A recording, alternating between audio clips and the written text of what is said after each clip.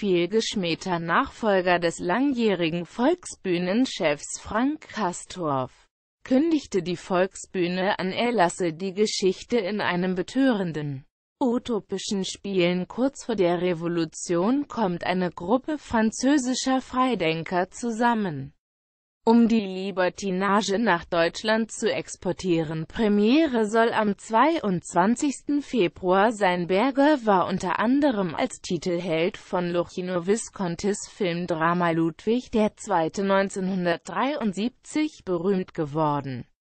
Dem Österreicher Helmut Berger, mit Janet Spasowa, die bulgarisch-armenische Wurzeln hat, und mit der deutsch-französischen Anne Tismer sagte der Con-Quelle NTV.de.